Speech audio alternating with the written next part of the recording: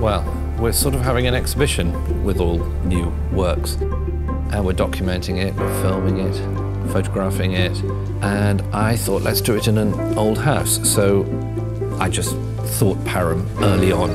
James and Emma, who live here, are friends. The place is dreamlike. I'm a firm believer that contemporary objects don't just sort of spring up if they're convincing. They're the product of centuries and centuries and centuries of human creation. And that's the most important thing about historic creativity is it's the springboard for contemporary creativity.